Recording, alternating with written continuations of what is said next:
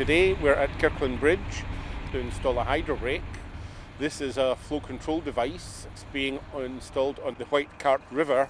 During periods of intense rainfall, the, this area that I'm standing in will become flooded and the water will be released gradually to uh, give a controlled flow.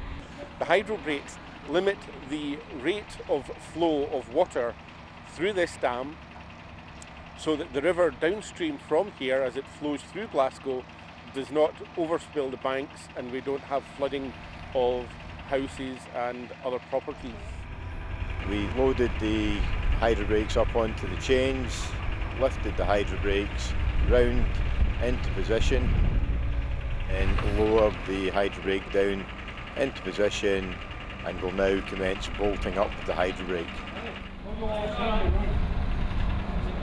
Once we have the hydro brake bolted into the head wall, we then need to do the benching concrete to ensure that the flows that come down the river flow into the inlet aperture of the hydro brake.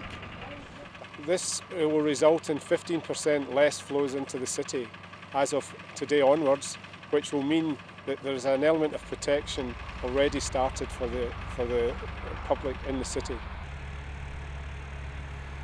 We're here at the Black House Inlet, which is part of the uh, White Cart flood prevention scheme. We're putting in the 1925mm CX hydro brake. This hydro brake is different to others that we've made because it doesn't use a conventional construction. We're using a shell former with internal struts and then we are forming 600 millimetres of concrete on the outside of it.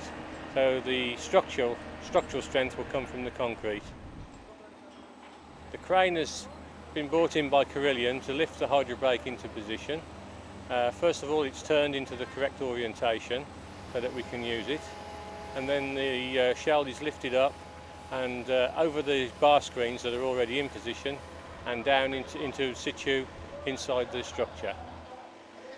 This hydro brake is the largest hydro brake ever made in the world and it's the first one ever made in this fashion with the former being a skin and then the uh, concrete added to the outside. We're confident that the, the locals and the taxpayers of the city are now being protected and that the council are doing taking their responsibilities seriously to ensure that with climate change, with past flooding and all the issues surrounding the environment, that this scheme fits perfectly into, into that that it's not damaging the environment downstream and upstream here and importantly for the city of Glasgow that the um, public are comfortable that they are now protected from future floods.